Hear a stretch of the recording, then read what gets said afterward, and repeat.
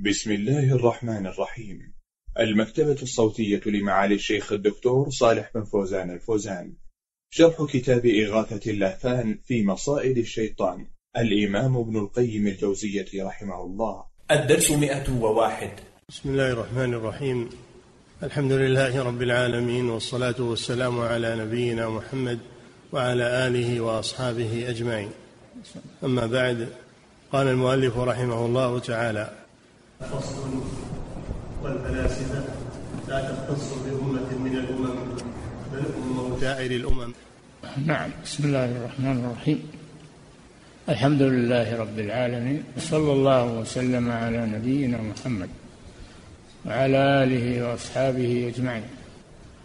الفلاسفة جمع فيلسوف والفيلسوف معناه محب الحكمة. فيلا يعني محب. سوف عن الحكمة. فهم يزعمون أنهم يبحثون عن الحكمة. ولذلك استغنوا بالفلسفة عن دين الأنبياء. استغنوا بالفلسفة عن دين الأنبياء. فصاروا يزعمون أنهم خير من الأنبياء لأنهم عرفوا ووصلوا إلى ربهم من دون الأنبياء. هكذا قال لهم الشيطان وقال لهم شياطينهم من أهل الضلال. هذه هي الفلسفة وهؤلاء هم الفلاسفة وهم منتشرون في الهند وفي غيرها من البلاد. ولما جاء الإسلام والحمد لله قاومهم وهتك أستارهم وبين ما عندهم من المنكرات فأصبحوا لا قيمة لهم عند أهل الإيمان. نعم. والفلاسفة لا تختص بأمة من الأمم بل هم موجودون في سائر الأمم. وإن كان المعروف عند الناس الذين اعتنوا بحكاية مقالاتهم هم فلاسفة اليونان فهم طائفة من طوائف الفلاسفة. ومن البلاء الآن أنهم يريدون أن يقرروا الفلسفة في المدارس و في دور العلم عندنا. ولكن ذلك لن يكون إن شاء الله. نعم. وإن كان المعروف عند الناس الذين اعتنوا بحكاية مقالاتهم هم فلاسفة اليونان فهم طائفة من طوائف الفلاسفة وهؤلاء أمة من الأمم لهم مملكة وملوك وعلماؤهم فلاسفتهم. ومن ملوكهم الإسكندر المقدوني. وهو ابن فيلبس. ولي فيلبس. وهو ابن فيلبس. وليس هو بالإسكندر ذي القرنين الذي قص الله تعالى نبأه في القرآن. بل بينهما قرون كثيرة وبينهما في الدين أعظم تباين. الإسكندر المقدوني هذا هو كبير الفلاسفة. الفلا... الإسكندر المقدوني هو كبير الفلاسفة. وأما الإسكندر الذي هو ذو القرنين فهذا مسلم ومن الدعاة إلى الله ملك ملك عادل وملك مسلم. قص الله خبره في القرآن العظيم و تجوله في المشرق والمغرب يدعو إلى الله عز وجل. نعم. بل بينهما قرون كثيرة وبينهما في الدين أعظم تباين فذو القرنين كان رجلا صالحا موحدا لله تعالى يؤمن بالله تعالى وملائكته وكتبه ورسله واليوم الآخر وكان يغزو عباد الأصنام وبلغ مشارق الأرض ومغاربها وبنى السد بين الناس وبين ياجوج وماجوج. نعم. هو, هو الذي بنى السد بين ياجوج وماجوج.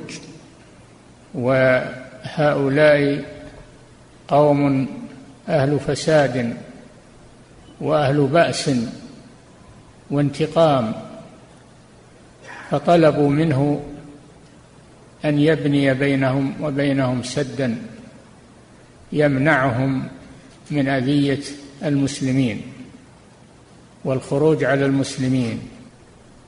قالوا إن يأجوج ومأجوج مفسدون في الأرض فهل نجعل لك خرجا يعني إعانة ومالا تجعل بيننا وبينهم سدا.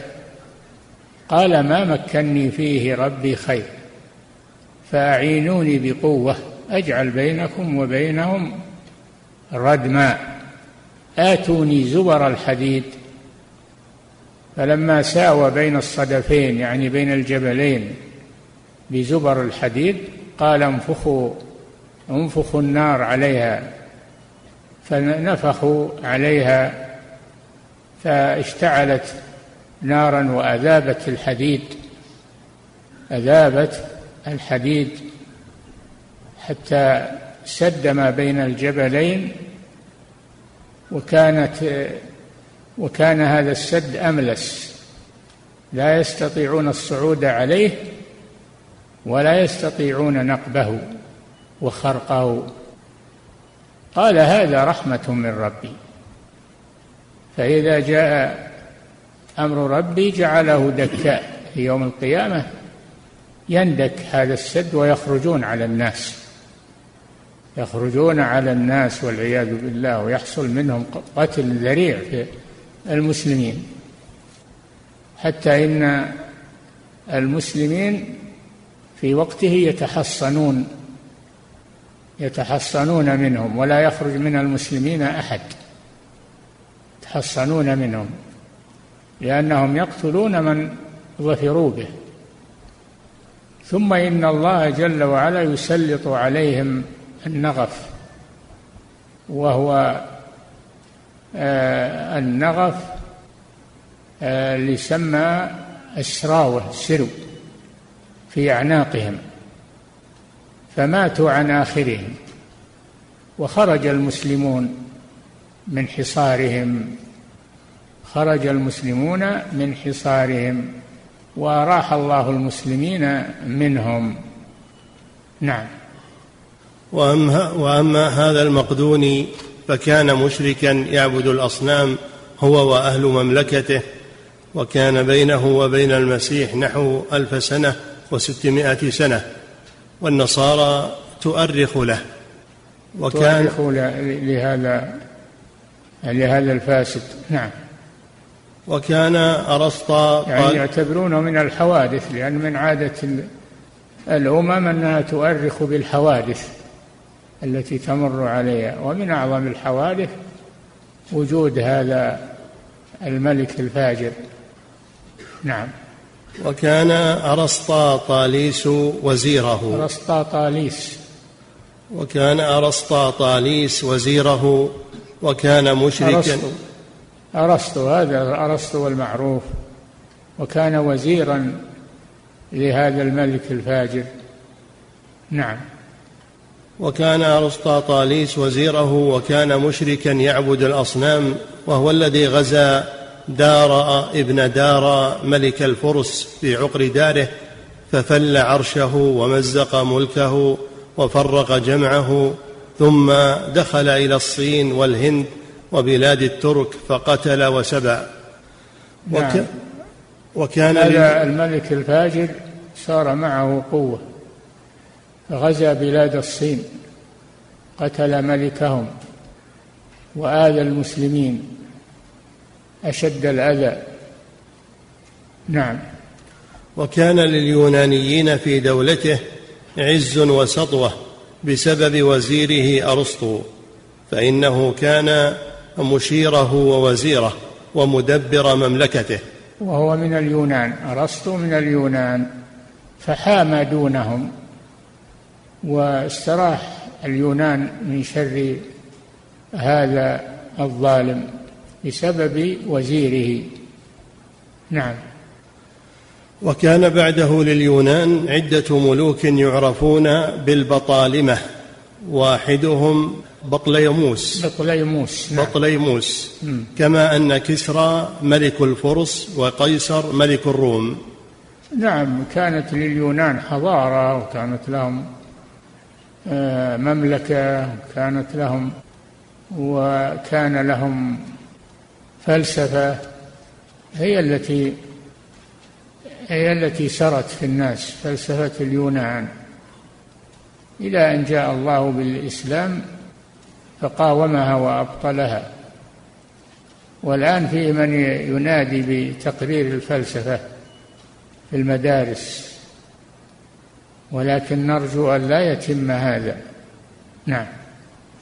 ثم غلبهم الروم واستولوا على ممالكهم فصاروا رعية لهم وانقرض ملكهم فصارت المملكة للروم. نعم الأدوار تدور على الناس. ينتصر هذا وينهزم هذا. فبعد أن كان لليونان حضارتهم وقوتهم ولهم النفوذ في العالم أدال الله عليهم الروم. والروم أهل كتاب. الروم أهل كتاب. قال الله جل وعلا بسم الله الرحمن الرحيم. ألف لام ميم. غلبت الروم في أدنى الأرض. وهم من بعد غلبهم سيغلبون. لله الأمر من قبل ومن بعد ويومئذ يفرح المؤمنون بنصر الله. يفرح المسلمون بنصر الروم. على اليونان. لأن الروم أهل الكتاب ومنهم مسلمون ومؤمنون. ويومئذ يفرح المؤمنون بنصر الله. نعم. ثم غلبهم الروم واستولوا على ممالكهم فصاروا رعية لهم وانقرض ملكهم. فصارت المملكة للروم وصارت المملكة واحدة. وهم على شركهم من عبادة الأصنام وهو دينهم الظاهر ودين آبائهم. فلاسفة يعني. نعم. فنشأ فيهم سقراط. أحد تلاميذ سقراط نعم. فنشأ فيهم سقراط أحد تلامذة فيثاغورس وكان من عبادهم فيثاغورس فيثاغورس أحد تلامذة فيثاغورس نعم. وكان من عبادهم ومتألهيهم وجاهرهم بمخالفتهم في عبادة الأصنام وقابل رؤساءهم بالأدلة والحجج على بطلان عبادتها فثار عليه العامة واضطروا الملك إلى قتله فأودعه السجن ليكفهم عنه ثم لم يرضى المشركون إلا بقتله فسقاه السم خوفا من شرهم بعد مناظرات طويلة جرت له معهم.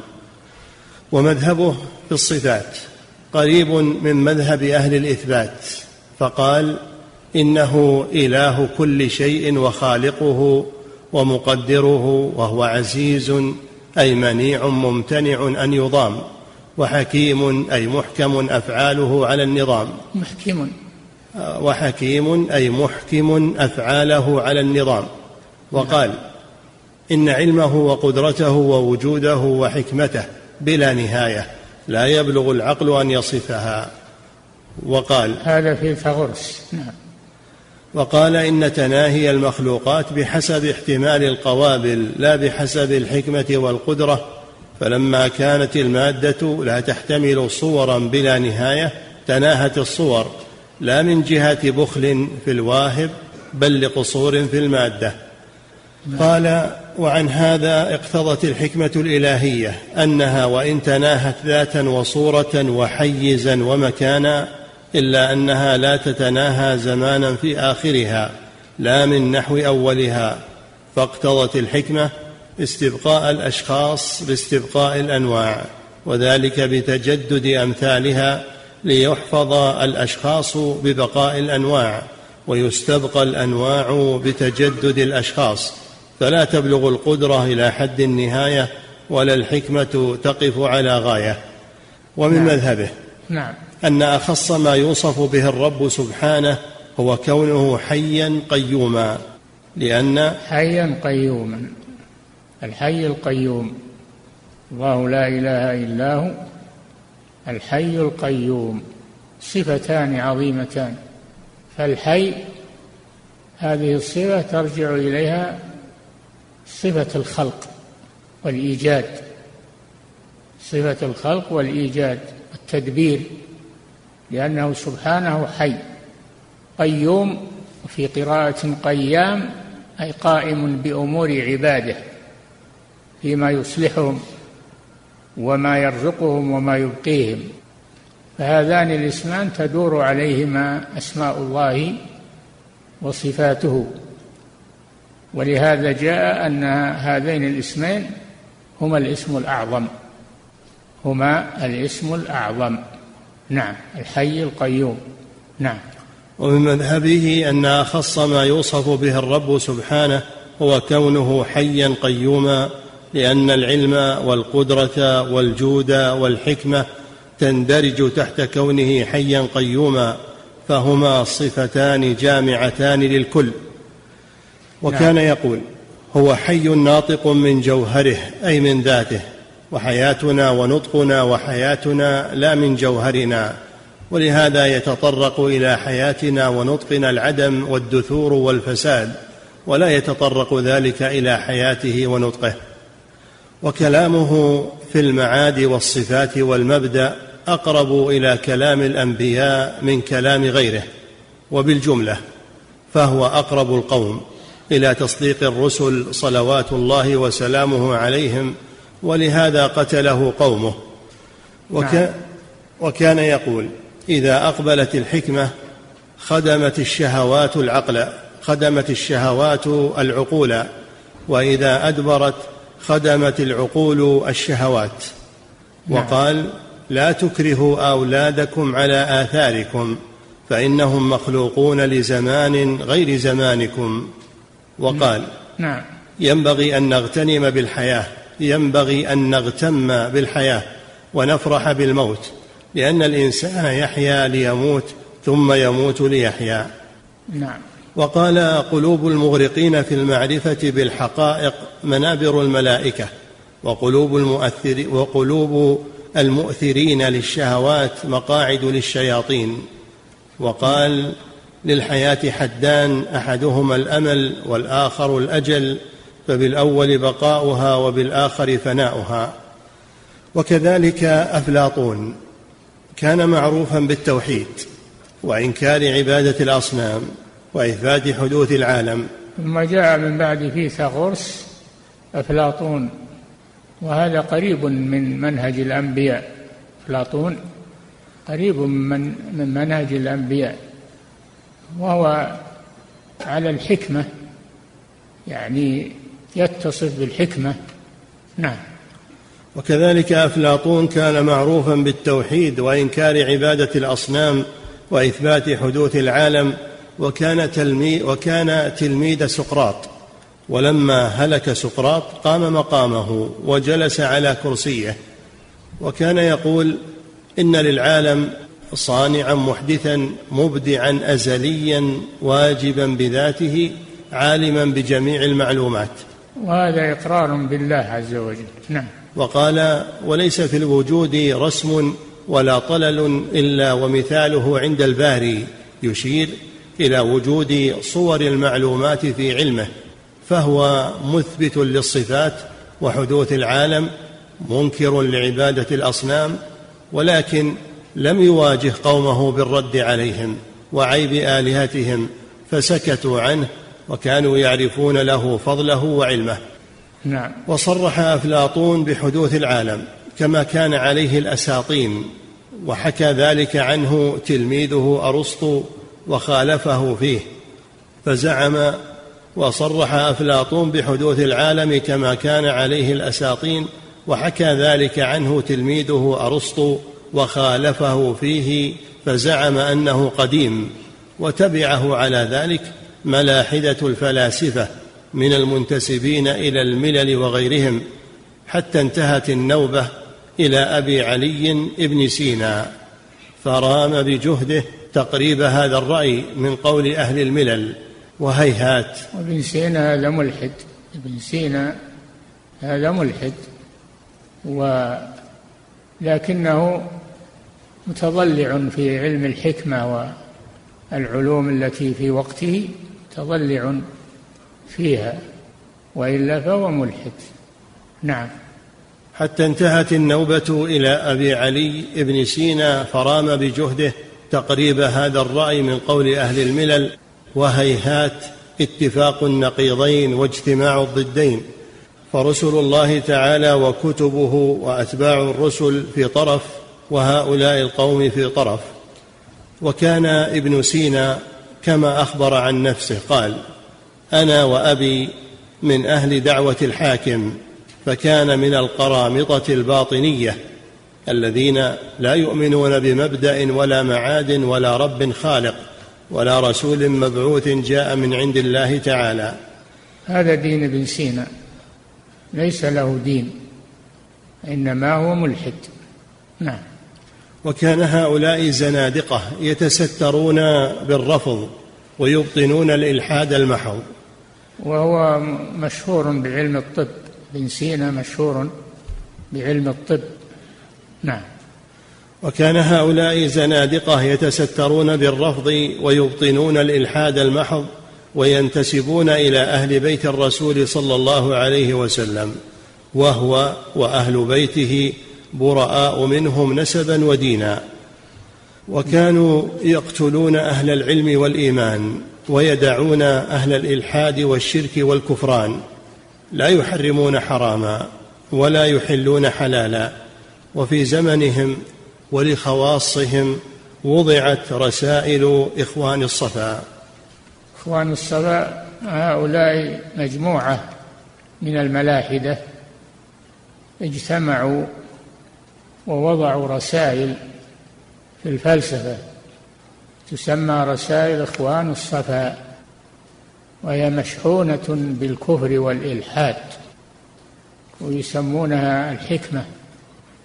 هذه رسائل إخوان الصفا وخلان الوفا لما خشوا من الناس في وقتهم اجتمعوا وأسروا أمرهم أخفوه وكتبوا رسائل إخوان الصفا وخلان الوفا بزعمهم. نعم. ولما انتهت النوبة إلى نصير الشرك والكفر الملحد وزير الملاحدة النصير الطوسي وزير نصير الدين هو أصله نصير الدين لكن سمي نصير الكفر وهو شيعي.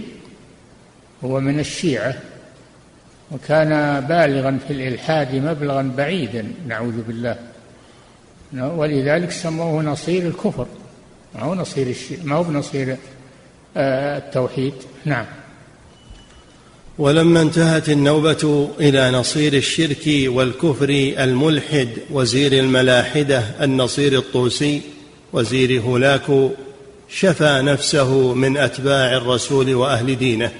فعرضهم وزير, وزير هولاكو والذي قتل المسلمين قتلا ذريعا وأبادهم. لمشورته الخبيث هذا. نعم. شفى نفسه من أتباع الرسول وأهل دينه فعرضهم على السيف حتى شفى إخوانه من الملاحدة واشتفى هو فقتل الخليفة والقضاة والفقهاء والمحدثين. الخليفة العباسي آخر العباسيين. آخر العباسيين قتله هذا الخبيث وبذلك ضاعت دولة العباسيين. نعم. وقتل الخليفة والقضاة والفقهاء والمحدثين واستبقى الفلاسفة والمنجمين والطباعيين والسحرة ونقل أوقاف المدارس والمساجد والربط إليهم وجعلهم خاصته وأولياءه. ونصر في كتبه قدم العالم وبطلان المعاد وإنكار صفات الرب جل جلاله من علمه وقدرته وحياته وسمعه وبصره وأنه لا داخل العالم ولا خارجه وليس فوق العرش إله يعبد البتة. هذا دين نصير الدين الطوسي. نعم. واتخذ للملاحدة الكفر. نعم. واتخذ للملاحدة مدارس. ورام جعل إشارات إمام الملحدين ابن سينا مكان القرآن. نعم ابن سينا له كتاب اسمه الإشارات في الفلسفة الملحدة. رام هذا الخبيث أن يجعله محل القرآن ويلزم الناس بدراسته والعمل به. نعم.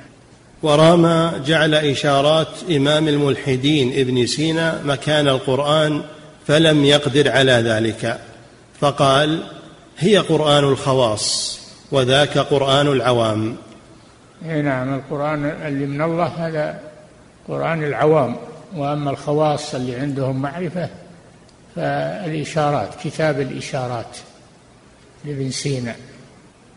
وبئس للظالمين بدلا. نعم. ورام تغيير الصلاة وجعلها صلاتين فلم يتم له الأمر. نعم. وتعلم السحر في آخر الأمر فكان ساحرا يعبد الأصنام. السحر أهون أهون ما عنده أسهل ما عنده السحر مع عظم كفر السحر. نعم. وصارعه محمد الشهرستاني في كتاب سماه المصارعة. أبطل فيه قوله بقدم العالم وإنكار المعاد ونفي علم الرب تبارك وتعالى وقدرته وخلقه للعالم. الشهرستاني له كتاب الملل والنحل. أبطل فيها قول هذا الملحد الخبيث ابن سينا. نعم. فقام له نصير الإلحاد وقعد. ونقضه بكتاب سماه مصارعة المصارع ووقفنا على الكتابين. نصر فيه أن الله تعالى لم يخلق السماوات والأرض في ستة أيام وأنه لا يعلم شيئا وأنه لا يفعل بقدرته واختياره ولا يبعث من في القبور. وبالجملة فكان هذا الملحد هو وأتباعه من الملحدين الكافرين بالله وملائكته وكتبه ورسله واليوم الآخر. والفلسفة نعم. هذا الطوسي نعم.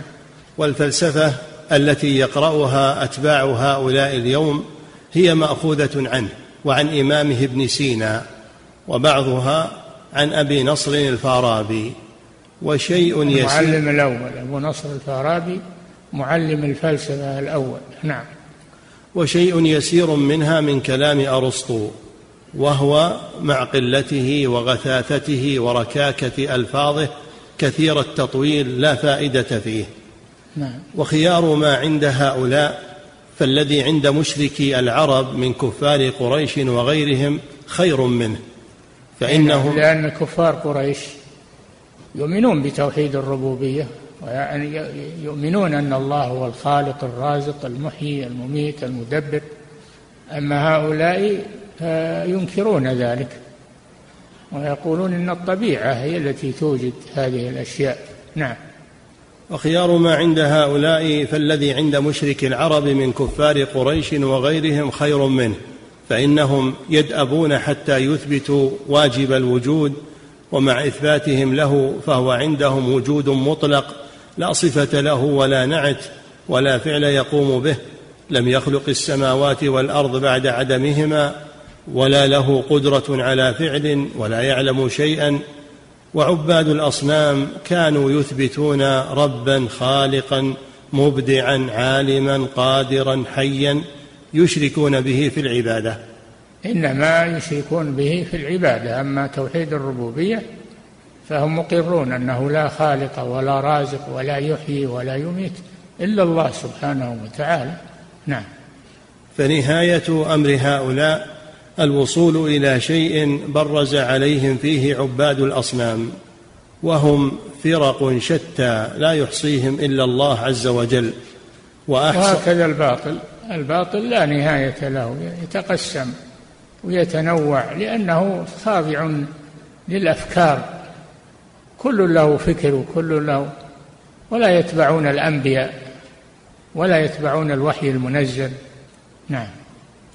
وهم فرق شتى لا يحصيهم إلا الله عز وجل وأحصى المعتنون بمقالات الناس منهم اثنتي عشرة فرقة كل فرقة منها مختلفة اختلافا كثيرا فمنهم أصحاب الرواق وأصحاب وأصحاب الظلة والمشاؤون وهم شيعة أرسطو وفلسفتهم هي الدائرة اليوم بين الناس. وهي التي يحكيها ابن سينا والفارابي وابن الخطيب وغيرهم. ومنهم الفيثاغورية الرازي. ابن الخطيب هو الرازي. نعم. ومنهم الفيثاغورية والأفلطونية ولا تكاد تجد منهم اثنين متفقين على رأي واحد. ولا تكاد تجد منهم اثنين متفقين على رأي واحد. بل قد تلاعب بهم الشيطان. كتلاعب الصبيان بالكرة ومقالاتهم أكثر من أن نذكرها على التفصيل وبالجملة فملاحدتهم هم أهل التعطيل المحض فإنهم عطلوا الشرائع وعطلوا المصنوع عن الصانع وعطلوا الصانع عن صفات كماله وعطلوا العالم عن الحق الذي خلقه له ربه وعطلوا العالم عن الحق الذي خلقه له ربه فعطلوه عن مبدئه ومعاده وعن فاعله وغايته ثم سرى هذا الداء منهم في الأمم وفي فرق المعطلة فكان منهم إمام المعطلين فرعون فإنه أخرج التعطيل إلى العمل فصرح به وأذن بين وأذن به بين قومه ودعا إليه وأنكر أن يكون إله غيره. نعم أنا قال فرعون أنا ربكم الأعلى. أنا ربكم الأعلى. هذا أشد الكفر والعياذ بالله. ادعى الربوبية. نعم. وأنكر أن يكون الله تعالى فوق سماواته على عرشه وأن يكون كلم عبده موسى تكليما وكذب موسى في ذلك وطلب من وزيره هامان. نعم. معروف ما حصل بين موسى وفرعون. معلوم ما حصل بين موسى وفرعون من المشادة ومن ما حاول فيه أن يقتل موسى. ذروني أقتل موسى. يقول لقومه ذروني أقتل موسى. إني أخاف أن يبدل دينكم أو أن يظهر في الأرض الفساد. موسى يظهر في الأرض الفساد وفرعون يظهر فيها الصلاح هذا من انتكاس الفطر. نعم. لكن ماذا قال موسى لقومه عليه الصلاة والسلام؟ وقال موسى لقومه استعينوا بالله واصبروا إن الأرض لله يورثها من يشاء من عباده والعاقبة للمتقين. قالوا أوذينا من قبل أن تأتينا ومن بعد ما جئتنا. قال عسى ربكم أن يهلك عدوكم. ويستخلفكم في الأرض فينظر كيف تعملون. فحصل ما قاله موسى عليه السلام. أهلك الله عدوهم واستخلفهم في الأرض وأعطاهم الملك بعد أن كانوا مستذلين ومستعبدين. نعم. وطلب من وزيره هامان أن يبني له صرحا ليطلع بزعمه إلى إله موسى عليه السلام وكذبه في ذلك. وقال فرعون يا هامان وزيره ابن لي صرحا. صرحا يعني مرتفعا بنية مرتفعة. لعلي أبلغ الأسباب. أسباب السماوات فأطلع إلى إله موسى وإني لاظنه كاذبا. يبني بناء يصل إلى السماء ويرجع للسماء ويبحث عن إله موسى. هذا كذب لكنه يريد الانتصار لنفسه والترويج على قومه. نعم. فاقتدى به كل جهمي مكذب أن يكون نعم الجهمية على مذهب فرعون. الجهمية هذه الفرقة المارقة على مذهب فرعون. ينكرون الصفات ينكرون الأسماء والصفات فهم على مذهب فرعون. نعم. فاقتدى به كل جهمي مكذب أن يكون الله مكلما متكلما أو أن يكون فوق سماواته على عرشه بائنا من خلقه ودرج قومه وأصحابه على ذلك حتى أهلكهم الله تعالى بالغرق وجعلهم عبرة أهلكهم الله جل وعلا بالغرق في البحر. ذلك أن بني إسرائيل أن موسى خرج ببني إسرائيل. خرج ببني إسرائيل من مصر فرارا بدينهم فلحق بهم فرعون وقومه حتى وصلوا إلى البحر. فصار المسلمون أمامهم البحر وخلفهم العدو وخلفهم العدو. وقالوا إنا لمدركون. قالوا لموسى إنا لمدركون. البحر أمامنا والعدو خلفنا. فماذا قال موسى؟ قال كلا إن معي ربي سيهدين. فأمره الله أن يضرب بعصاه البحر. فضربه بعصاه فتجمد البحر. وصار طرقا على قدر فرق المسلمين. جامدا يمشون وينظر بعضهم إلى بعض.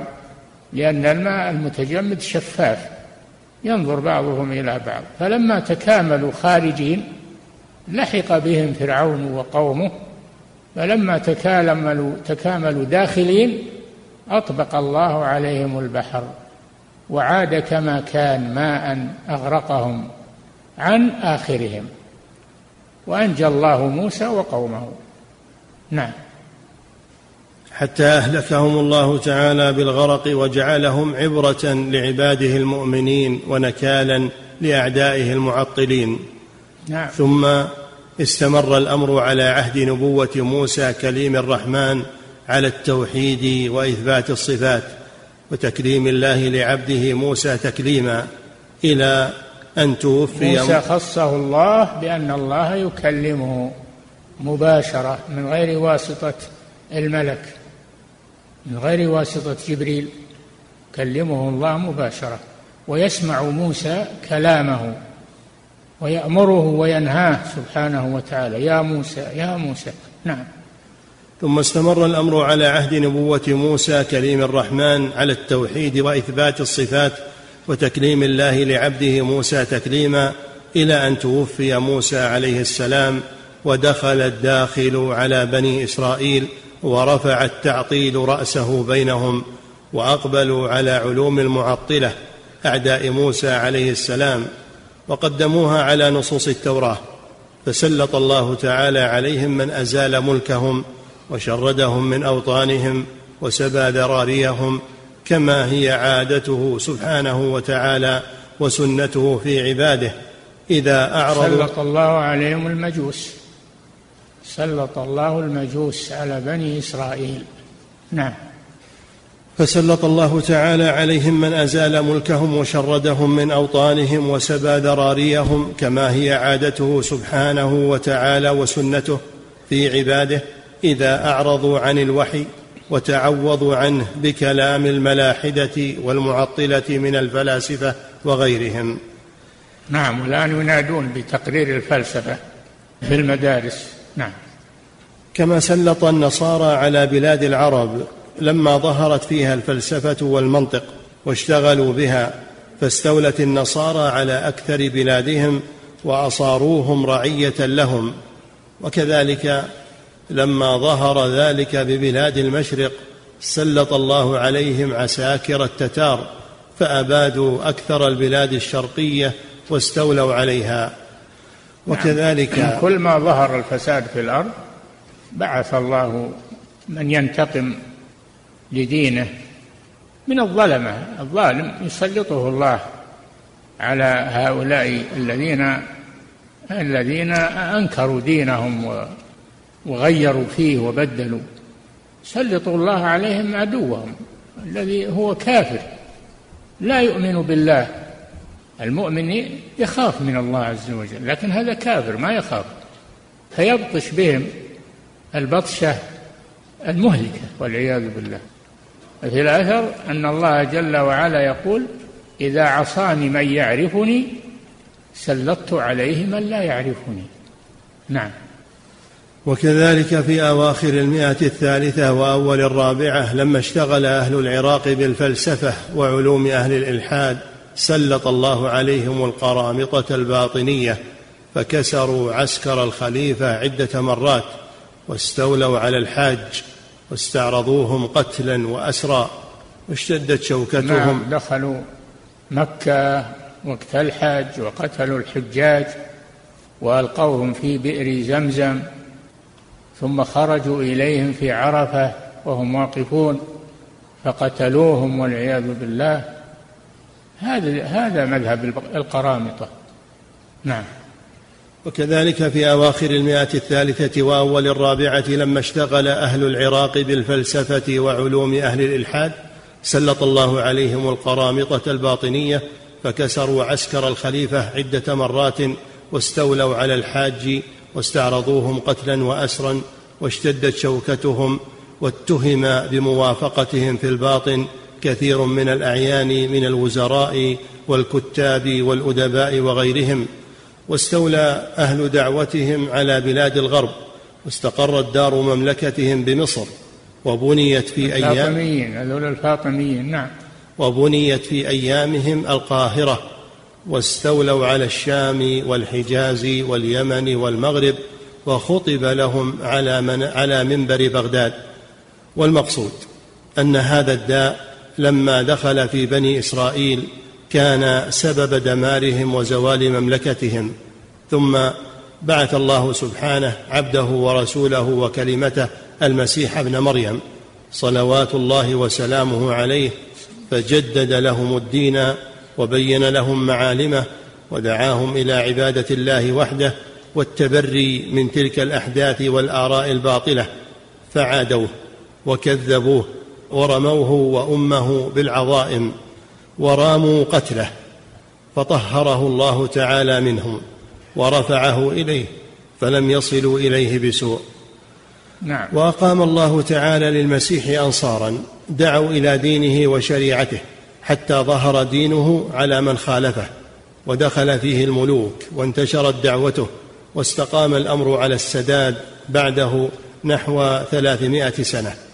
ثم أخذ دين ثم أخذ دين المسيح في التبديل والتغيير حتى تناسخ واضمحل ولم يبق بأيدي النصارى منه شيء بل ركبوا دينا بين دين المسيح ودين الفلاسفة عباد الأصنام وراموا بذلك أن يتلطفوا للأمم حتى يدخلوهم في النصرانية فنقلوهم من عبادة الأصنام المجسدة إلى عبادة الصور التي لا ظل لها ونقلوهم من السجود للشمس إلى السجود إلى جهة المشرق ونقلوهم من القول باتحاد العاقل والمعقول والعقل إلى القول باتحاد الأب والابن وروح القدس.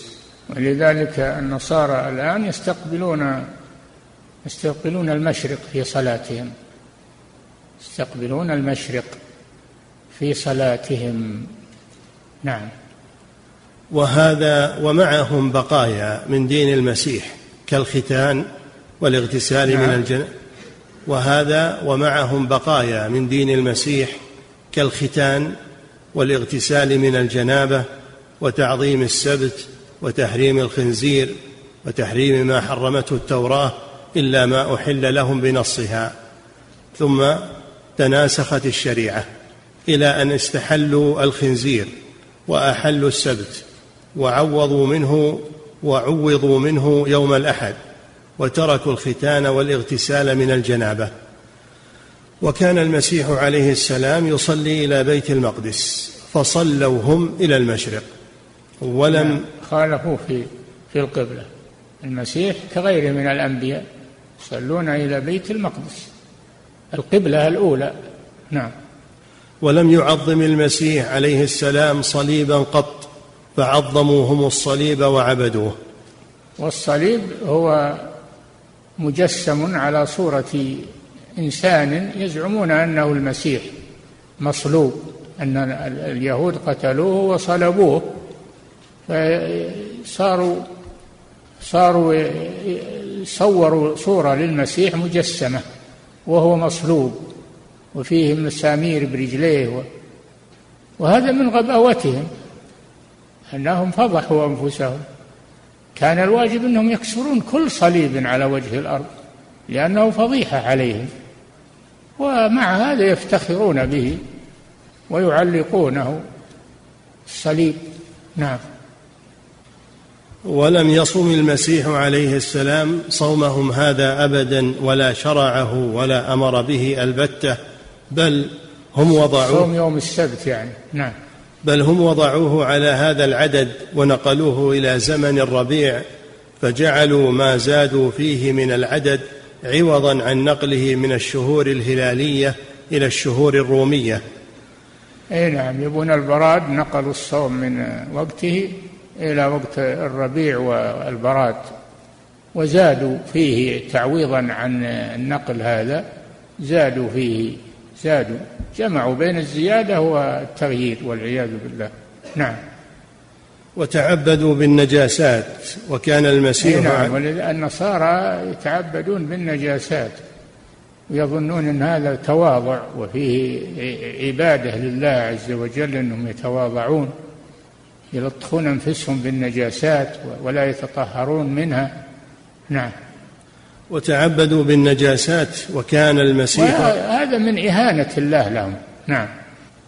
وتعبدوا بالنجاسات وكان المسيح عليه السلام في غاية الطهارة والطيب والنظافة وأبعد الخلق عن النجاسة فقصدوا بذلك تغيير دين اليهود ومراغمتهم فغيروا دين المسيح. وتقربوا إلى الفلاسفة عباد الأصنام بأن وافقوهم في بعض الأمر ليرضوهم به. وليستنصروا بذلك على اليهود.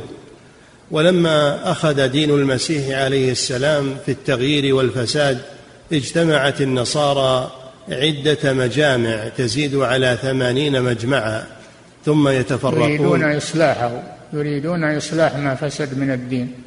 نعم.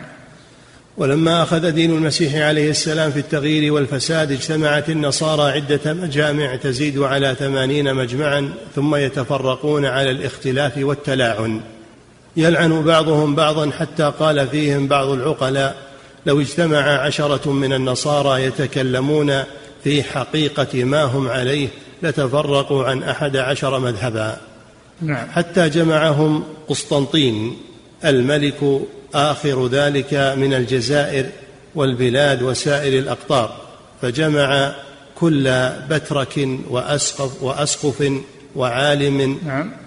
آخر ذلك. حتى جمعهم قسطنطين الملك آخر ذلك من الجزائر والبلاد من الجزائر يعني الجزر ما هي بالجزائر البلد المعروفة الجزر. نعم. والبلاد وسائر الأقطار فجمع كل بترك وأسقف وعالم فكانوا ثلاثمائة وثمانية عشر. فقال أنتم اليوم علماء النصرانية وأكابر النصارى فاتفقوا على أمر تجتمعون تجتمع عليه كلمة النصرانية ومن خالفها لعنتموه وحرمتموه.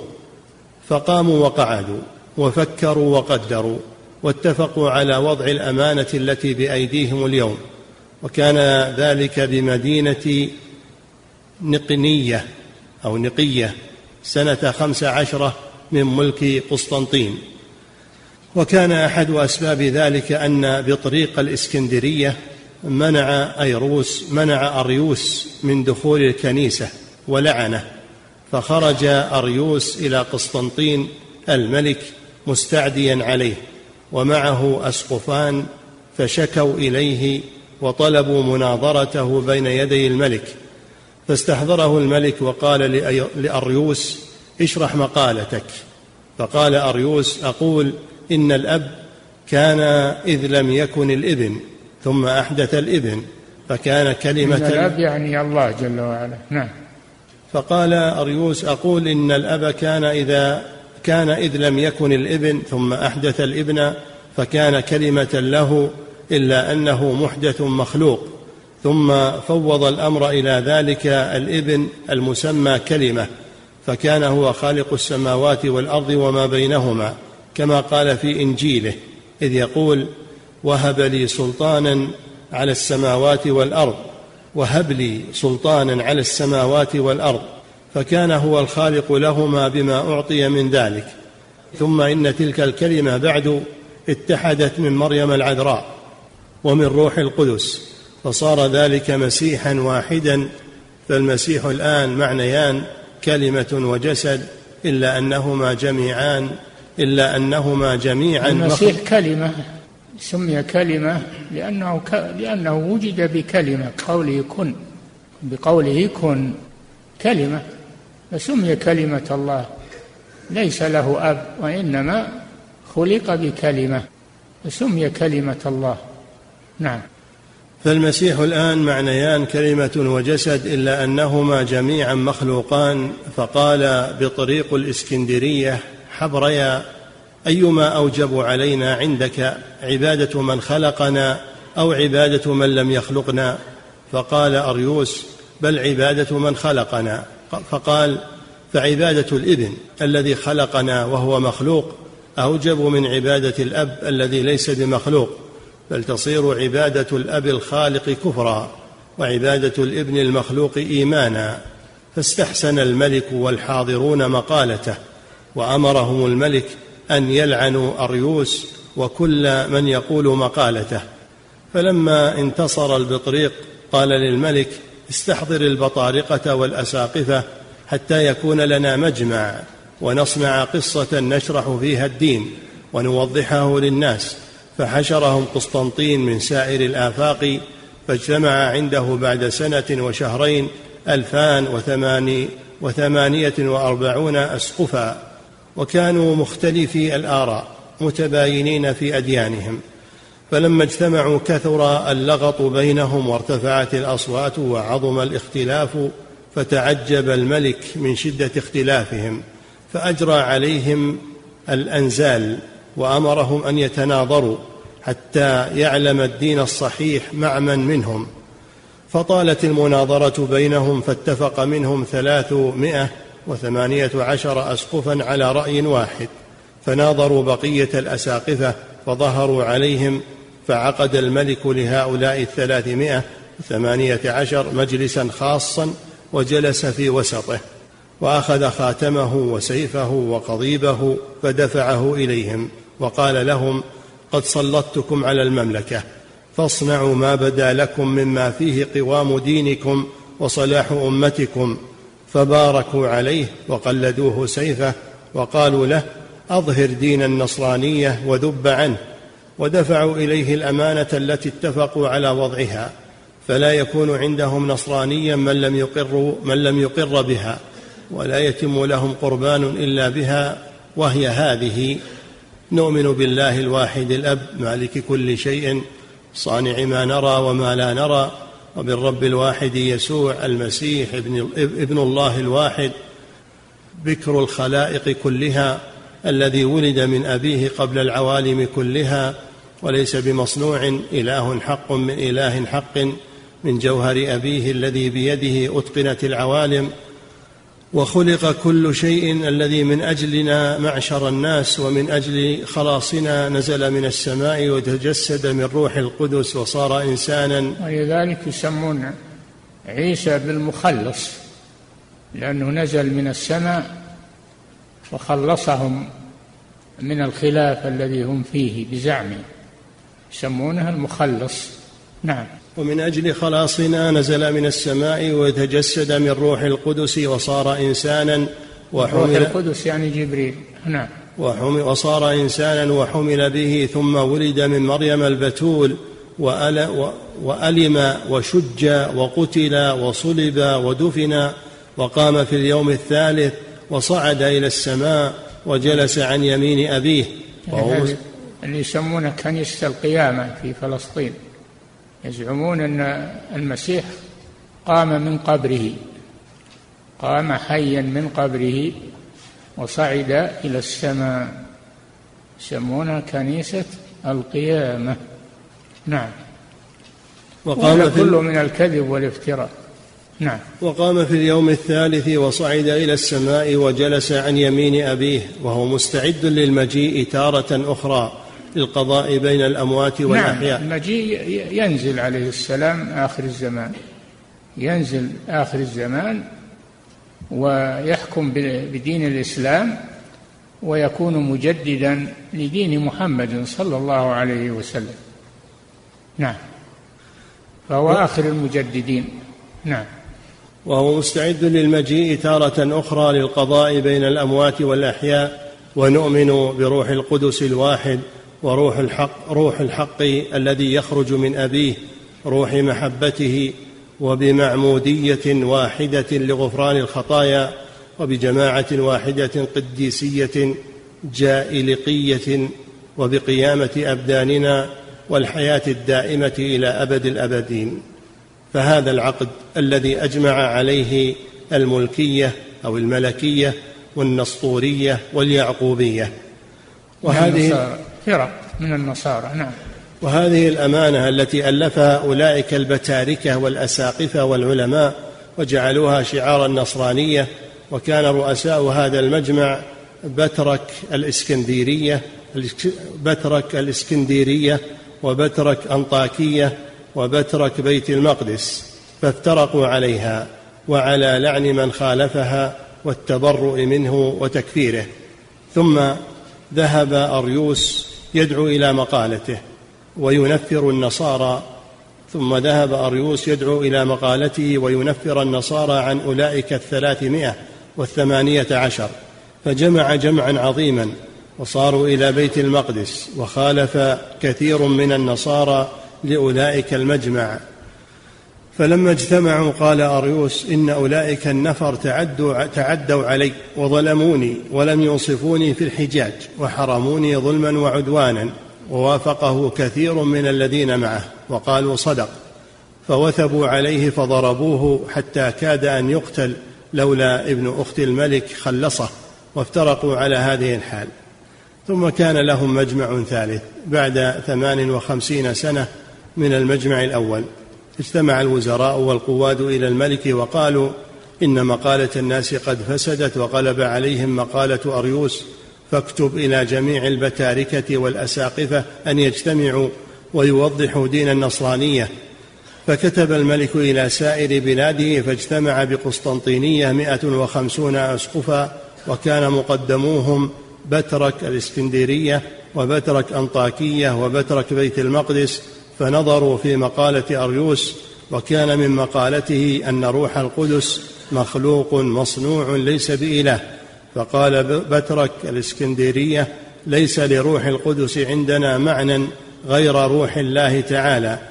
وليس روح الله تعالى شيئا غير حياته فإذا قلنا إن روح القدس مخلوق فقد قلنا إن روح الله مخلوق. وإذا قلنا إن روح الله مخلوقة فقد قلنا إن حياته مخلوقة. فقد جعلناه غير حي ومن جعله غير حي فقد كفر ومن كفر وجب عليه اللعن. روح مخلوقة. عيسى عليه السلام روح مخلوقة. بنفخة جبريل عليه السلام. بأمر الله نفخ في جيب درع مريم فوصلت النفخة إلى فرجها فحملت. فنفخنا فيها من روحنا. وفي آية أخرى فنفخنا فيه يعني في فرجها. من روحنا يعني من جبريل عليه السلام. فهو نفخة جبريل عليه السلام. وصلت إلى فرج أمه فحملت به. لذلك يسمى روح الله ويسمى كلمة الله. نعم. فلعنوا بأجمعهم أريوس وأشياعه وأتباعه والبتاركة الذين قالوا بمقالته وبينوا أن روح القدس خالق غير مخلوق إله حق وأن طبيعة الأب والابن جوهر واحد وطبيعة واحدة وزادوا في الأمانة التي وضعها الثلاثمائة والثمانية عشر ثمانية عشر. قالوا ونؤمن بروح القدس الرب المحيي الذي من الأب المنبثق الذي مع الابن والأب وهو مسجود وهو مسجود وممجد وكانوا في الأمانة الأولى وبروح القدس فقط. وبينوا أن الأب والابن وروح القدس ثلاثة أقانيم وثلاثة وجوه وثلاثة خواص وحدة في وحدة في تثليث وتثليث في وحدة وزادوا ونقصوا في الشريعة. وأطلق بترك الإسكندرية للرهبان والأساقفة يقول واحد منهم من هؤلاء علمائهم يقول أنا في حيرة من من قولهم ثلاثة الآلهة ثلاثة في واحد واحد في ثلاثة.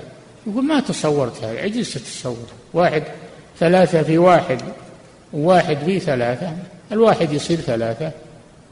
أو الثلاثة يصيرون واحد. هذا ما يمكن. يقول حتى سمعت قوله تعالى بسم الله الرحمن الرحيم قل هو الله أحد الله الصمد لم يلد ولم يولد ولم يكن له كفوا أحد. يقول فزال عني هذا الإشكال تماما من هذه السورة العظيمة الموجزة. نعم. وأطلق بترك الإسكندرية للرهبان والأساقفة والبتاركة أكل اللحم وكانوا على مذهب ماني لا يرون أكل ذوات الأرواح. فانفض هذا المجمع وقد لعنوا فيه أكثر أساقفتهم وبتاركتهم ومضوا على تلك الأمانة. يستاهلون. نعم. ثم كان لهم مجمع رابع بعد إحدى وخمسين وسنة. من هذا المجمع على نسطروس وكان مذهبه أن مريم ليست بوالدة الإله على الحقيقة ولكن ثمة أثنان الإله الذي هو موجود من الأب والآخر إنسان الذي هو موجود من مريم. وأن هذا الإنسان الذي نقول إن إن المسيح متوحد مع أبي الإله وابن الإله ليس ابنا على الحقيقة لكن على سبيل الموهبة والكرامة واتفاق الاسمين. فبلغ ذلك بتاركة سائر البلاد. فجرت بينهم مراسلات واتفقوا على تخطئته واجتمع منهم مئتا أسقف في مدينة أفسيس وأرسلوا إلى نسطورس نسطروس للمناظرة فامتنع ثلاث مرات فأوجبوا عليه الكفر فلعنوه ونفوه وحرموه وثبتوا أن مريم ولدت إلها وأن المسيح إله حق وإنسان معروف بطبيعته الإله يولد الله جل وعلا يقول لم يلد ولم يولد ولم يكن له كفوا أحد. نعم. الإله يكون في بطن امرأة ويخرج مع فرجها تعالى الله عن ذلك. نعم. وثبتوا أن مريم ولدت إلها وأن المسيح إله حق وإنسان معروف بطبيعتين متوحد في الأقنوم. فلما لعنوا نسطورس غضب له بترك أنطاكية فجمع اساقفته الذين قدموا معه وناظرهم فقطعهم فتقاتلوا ووقع الحرب والشر بينهم وتفاقم أمرهم فلم يزل الملك حتى أصلح بينهم. فكتب أولئك صحيفة بأن مريم القديسة ولدت إلها وهو نعم. ربنا يسوع المسيح ال- الذي هو مع أمه في الطبيعة ومع الناس في الناسوت. وأنفذوا لعن نسطورس. فلما نفي نصر يقولون اتحد اللاهوت بالناسوت. اللاهوت الله والناسوت مريم. نعم. فلما نفي نسطور سار إلى أرض مصر وأقام بإخميم سبع سنين ودفن بها ودرست مقالته إلى أن أحياها ابن إلى أن أحياها ابن صرم مطران نصيب نصيبين وبثها في بلاد المشرق. فأكثر نصارى العراق والمشرق نسطورية وانفض ذلك الجمع أيضا على لعن نسطورس ومن قال بقوله وكل مجامعهم كانت تجتمع على الضلال وتفترق على اللعن فلا ينفض المجمع إلا وهم ما بين لاعن وملعون أعوذ بالله. ثم كان لهم مجمع خامس وذلك أنه كان بالقسطيني وأنه كان بالقسطينية. نقف على هذا. نعم. إغاثة اللهفان من مصائد الشيطان. هذه مصائد الشيطان. نعم. فضيلة الشيخ وفقكم الله هذا سائل يقول هل السد سد يأجوج ومأجوج هل هو معلوم المكان؟ وهل صحيح ما يقال بأنهم هم أهل الصين؟ لا. ما هم أهل الصين. شيء لا يعلمه إلا الله.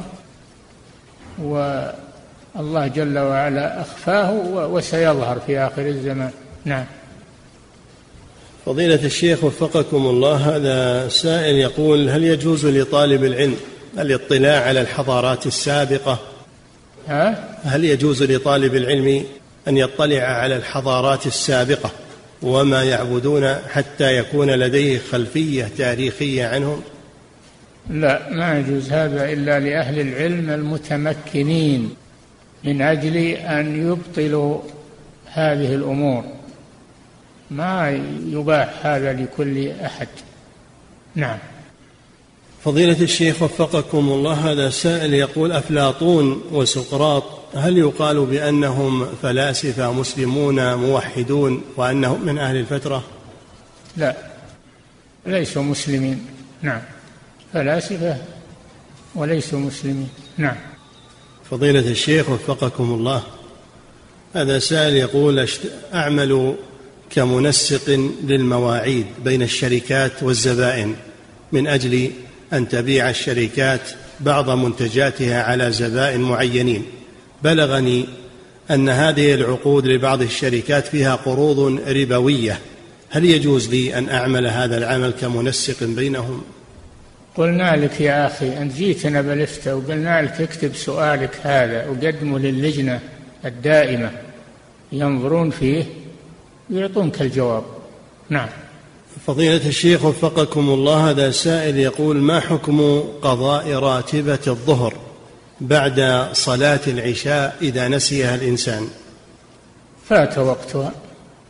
سنة فات وقتها ولا تقضى إنما تقضى الفريضة.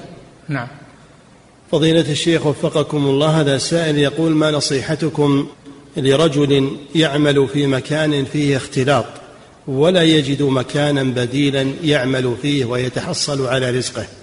أرض الله واسعة أرض الله واسعة يطلب الرزق في غير هذا المكان. نعم. فضيلة الشيخ وفقكم الله هذا يتق الله يجعل له مخرجا ويرزقه من حيث لا يحتسب. نعم.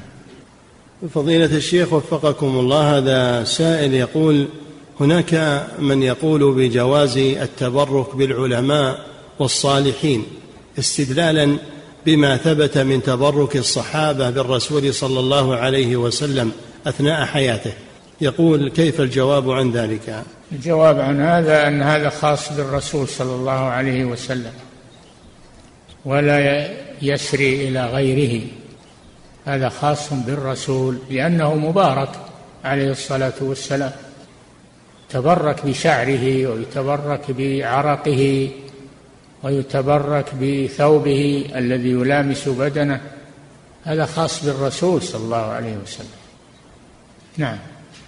فضيلة الشيخ وفقكم الله هذا السائل يقول هل هذان الاسمان هي من أسماء الله عز وجل وهي النافع الضار؟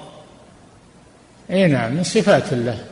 هم من أسماء الله؟ من صفات الله. نعم. ثم يقول رعاك الله وهل يجوز التعبيد بهما؟ فيقول عبد النافع وعبد الضار. لا لا. ما هو من أسماء الله؟ هذه من صفاته. نعم. فضيلة الشيخ وفقكم الله هذه امرأة من خارج هذه البلاد تسأل فتقول إنها امرأة متزوجة وليس في وليس في ثدييها لبن فأرادت أن ترضع طفلا فذهبت لطبيبة فأعطتها علاجا يدر اللبن فأرضعت هذا الطفل سؤالها هل يكون الزوج أبا لهذا الطفل مع العلم بأن هذا الحليب جاء بسبب الإبرة والعلاج؟ تكتب سؤالها وترسله للإفتاء. نعم. فضيلة الشيخ وفقكم الله هذا السائل يقول هل صحيح أن كل مشبه معطل؟ اي نعم. المشبه معطل. وليس كل معطل مشبها. نعم. فضيلة الشيخ وفقكم الله هذا سائل يقول الشرك الأصغر هل لا بد له من توبة وأن صاحبه مخلد بالنار إذا مات كالشرك الأكبر؟ مخلد في النار لا لكن يعذب يعذب بشركه ولا يخلد في النار لأنه من عصاة الموحدين. نعم. فضيلة الشيخ وفقكم الله هذا سائل يقول هل يقال بعد صلاة الفجر وصلاة المغرب لا إله إلا الله وحده لا شريك له له الملك وله الحمد يحيي ويميت وهو على كل شيء قدير عشر مرات وبعد نعم, نعم. يقال. تهليلات العشر بعد المغرب وبعد الفجر. نعم. ثم يقول رعاك الله وأما بعد بقية الصلوات فإنه يقولها مرة واحدة فقط. يقول الذكر الوارد الذكر الوارد بعد الفريضة. هذا معروف موجود مدون. نعم. في كتب الفقه أقرب شيء. نعم. فضيلة الشيخ وفقكم الله ما حكم الجلوس على القبر؟ وهل صحيح أنه من كبائر الذنوب؟ نعم لا يجوز الجلوس على القبر ولا الوطي عليه. ما يجوز المشي عليه ولا يجوز الجلوس عليه.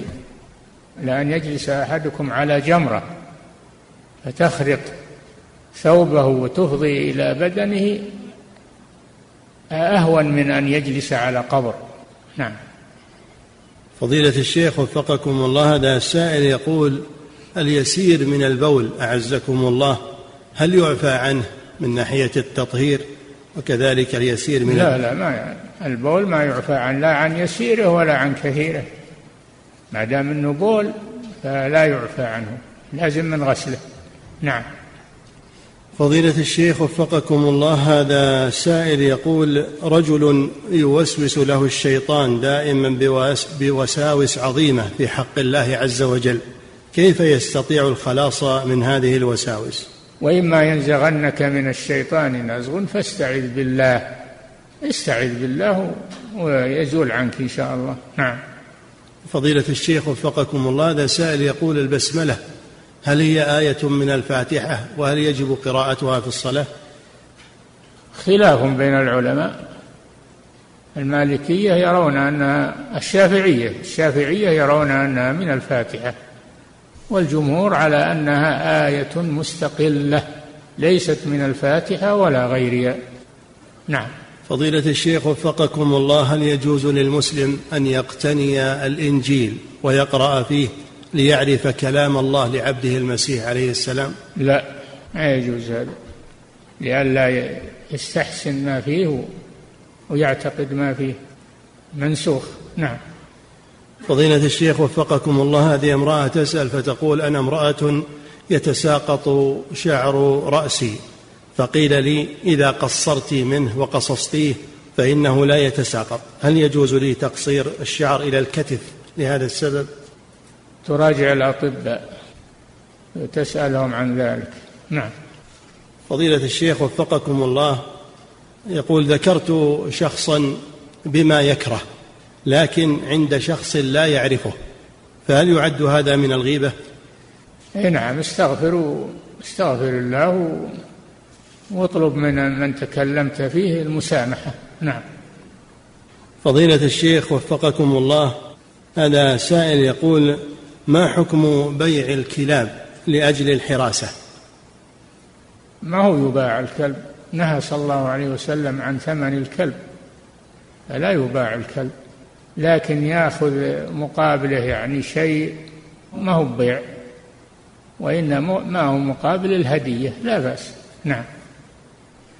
فضيلة الشيخ وفقكم الله هذا سائل يقول رجل مريض وهو جار للمسجد ولا يستطيع الذهاب إلى المسجد. سؤاله هل له أن يأتم بصلاة الإمام خصوصا أن صوت الإمام يصل إليه في بيته؟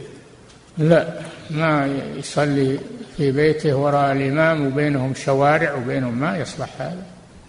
بينهم شوارع وسيارات. فهو منقطع عن الإمام. نعم.